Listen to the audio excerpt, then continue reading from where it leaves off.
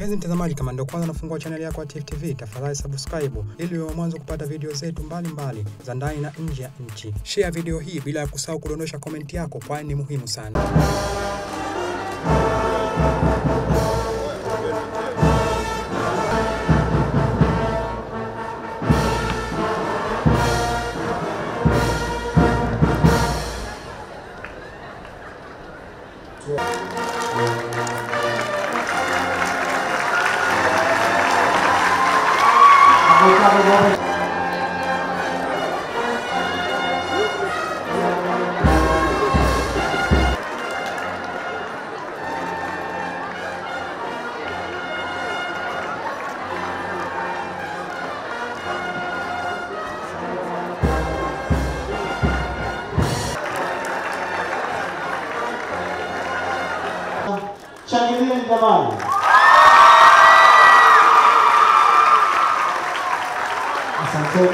Serikali katika uwekezaji, tutaendelea kuwekeza kwenye miundombinu ili mazingira ya kufundishia na kujifunzia yawe mazuri zaidi.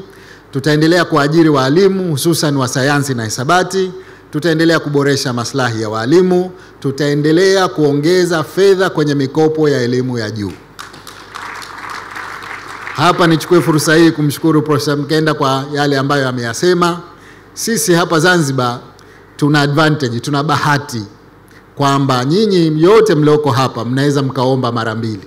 Mnaweza mkaomba kwa mko, mkopo wa elimu ya juu ya Tanzania, Jamhuri ya Tanzania, mnaweza kuomba mkopo wa elimu ya juu ya Zanzibar. Kwa kila mmoja wenu hapa ana nafasi mara mbili, na kipekee ni mshukuru Rais wa Jamhuri ya Muungano wa Tanzania kwa hizi scholarship ambazo ni kwa Tanzania nzima.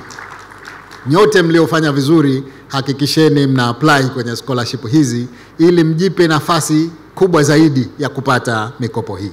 Kipekee na mimi niongeze sauti yangu katika kuishukuru Wizara ya Elimu na Mafunzo ya Amali, wanafanya kazi nzuri sana. Ni kweli serikali imeongeza uwekezaji katika wizara hii, lakini unafarijika unapoona uwekezaji ule unaendana na matokeo. Binafsi natambua ya kwamba elimu ni, ni sekta moja ambayo matokeo yake huwa hayaonekani haraka. Unaweza ukawekeza leo, matokeo ukayapata miaka mitano mpaka kumi baadaye, lakini wenzetu hawa wamefanya kazi ya ziada, matokeo tumeanza kuyapata mapema. Tunafarijika, inatupa moyo wa kuwekeza zaidi katika sekta hii, na ahadi yangu ni kwamba tutaendelea kuwekeza ili tufanye vizuri zaidi lakini na katika eneo la maslahi ya waalimu na watendaji wa Wizara ya Elimu.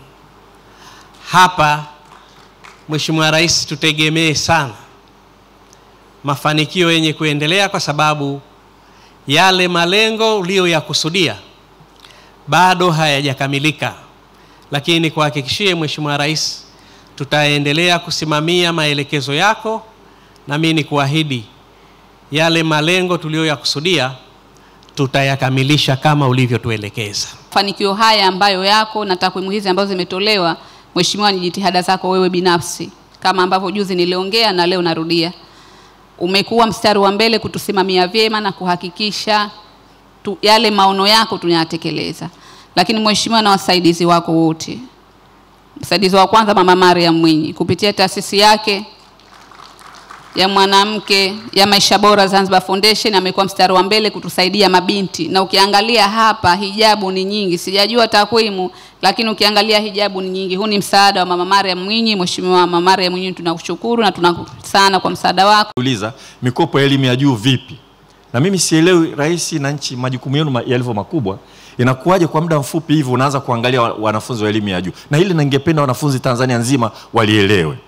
Ameongeza mikopo kutoka bilioni 464 mpaka sasa hivi ni bilioni 757 na bado anaendelea kuongeza, na zaidi ya hapo ameagiza wanafunzi wa kidato cha sita mwaka 2024 walifanya mtihani wao wa taifa mwezi wa Mei na matokeo yalitoka mwezi wa Julai. Jumla ya wanafunzi 3402 walifanya mtihani huo. Kati ya hao wanaume ni 1653 na wanawake 1749 kutoka skuli 44 za Unguja na Pemba na skuli 31 zilikuwa ni za serikali na 13 za binafsi. Kwa upande wa skuli za Unguja, jumla ya wanafunzi 2558 wakiwemo 1399 wanawake na wanaume 1159. Wanafunzi 594 wamefaulu kwa daraja la kwanza, tuwapigie makofi sana. Tifu TV inakupatia video mbalimbali mbali kutoka ndani na nje ya nchi. Tafadhali endelea kutufuatilia kupitia chaneli yetu ya Tifu TV, YouTube, Facebook, Twitter na Instagram, bila kusahau kudondosha komenti yako, kwani ni muhimu sana. Tifu TV tupo kijamii zaidi.